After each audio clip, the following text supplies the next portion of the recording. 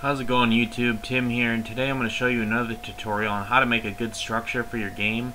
Um, so let's, let's get right into it. Uh, you may have seen um, one of my tutorials on how to use script arguments and there's also a tutorial on how to use the switch statement.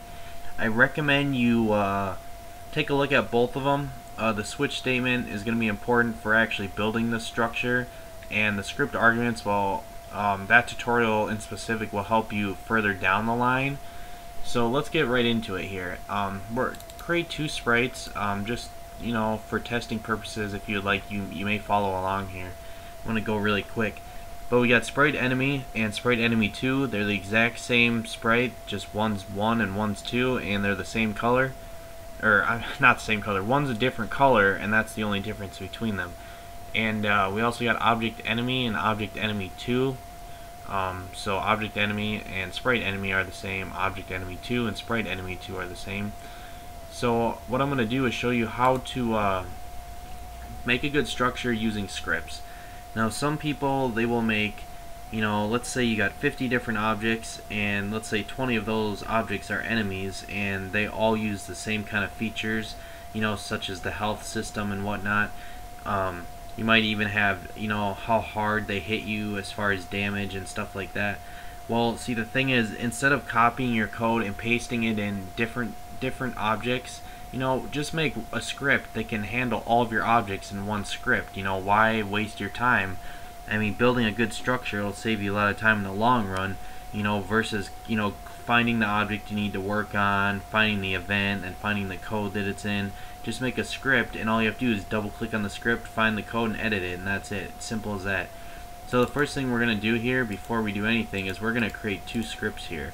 We're going to do, uh, let's do script create, and we're going to make another one, and we're going to do script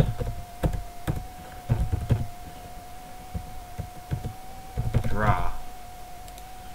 Alright, so then go into your two objects here. We have two two enemies here. They're basically the same thing, just different color, but they're going to use the same scripts here.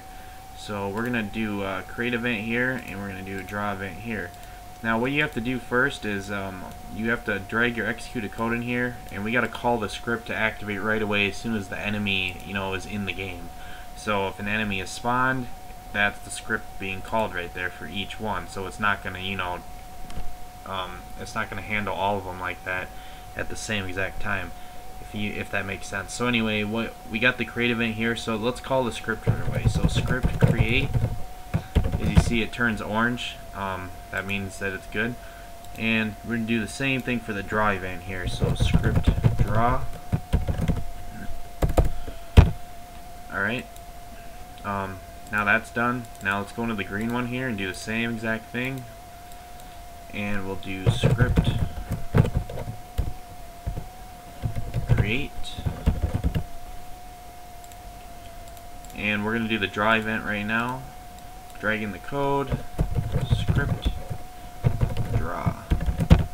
There, now we're done with that. Anyway, so, um, next, uh, if you haven't already, just put the two objects in the room side by side so I can show you what the difference is. Now, um, for this uh, fake, you know, tutorial scenario, you know, let's just say that um, object enemy, the red one, has more health than the green one. Well, instead of going into this one and changing the health, and then going into this one and changing the health, how about we just go into just this one and determine that? That would be a lot easier. We can change two we can ch change two different things, you know, with one script. Alright, so this is where the switch statement comes in. So, since the two enemies are already in the room, that means as soon as the game starts, this uh, create event is going to be calling this script right away. So we're going to use a switch statement. We are going to actually uh, switch the sprite index. That is how we're going to determine.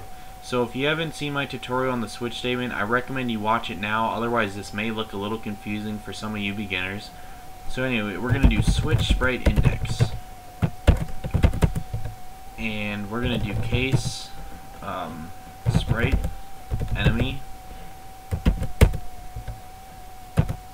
break.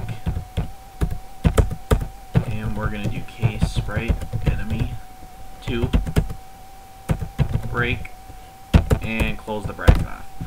Okay, so what this is doing is basically it's saying that um, since this script is being called in every object, it's basically going to say, okay, so um, if the sprite index of the object calling it is whatever's here, so in this case, if if this object is calling the sprite of sp sprite enemy, which is this, the red one, then it's going to execute that code.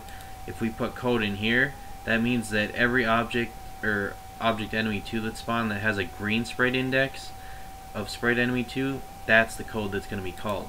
So anyway, so let's say the, um, like I was saying earlier, the red object, um, object enemy 1 is going to have more health than the other one. So we'll do e health equals 100. And down here, we'll do e health equals 50. Okay? So we're saying that the red one has 100 health, the green one has 50, and the only reason we can spread them apart is because we're using the sprite index to determine which object is which. Alright, so the create event's done. Now, we could have went into object, create event, typed in e-health here, and then closed it, went into this one, create event, e-health. That's too much work. I just did it all right here, no problem. Once you build this switch statement, all you have to do is fill in the internals right there. That's about it. That's all you have to do. So now, so now anyway, we still got the script draw here. We're going to do the same thing. We're going to do switch sprite index and we're going to do case sprite enemy break case sprite enemy 2 break and close the bracket. Okay, so anyway, um, if you're not a beginner, or maybe you are a beginner and you already know this, but um, um, if an object already has a sprite, you have to use draw self. Otherwise, whatever you're trying to draw will draw without the sprite being there. So, um, in this case, uh, our first object here, object enemy, does have a sprite. The sprite of it is sprite enemy of just sprite enemy. Second one is sprite enemy 2. So since it has a sprite, we're going to do draw self. And we're going to do draw text. So we're going to do draw text and we're going to do x and y minus 32 so it appears above and we're going to string e health.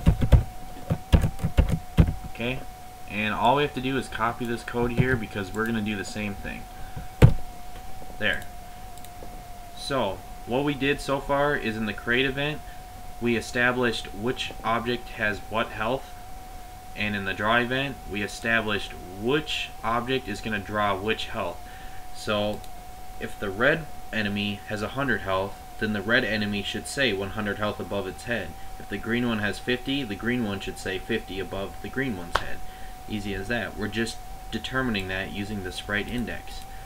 So now if you wanted to if you had a step event you would add a script step. Go inside the objects add the step event call it there and then basically this script folder here is all you're going to need for your games, mostly. I mean, of course, there's little things you won't need, but um, you'll just kind of get it as you go. So anyway, let's run the game really quick and make sure it works. And if we did this right, the red one should say 100, the green one should say 50. There you go, right there. We just used two scripts to do the enemy's health and to determine what does what. Now, if you want to see some more tutorials in this, please comment, you know, leave me a like, leave me a message, you know, do whatever you can. Um, I will try and do some more tutorials for you guys. I'm going to do a spawn system tutorial next. It's going to be a little more advanced than my last one. And I really hope I was able to help you guys. Thank you.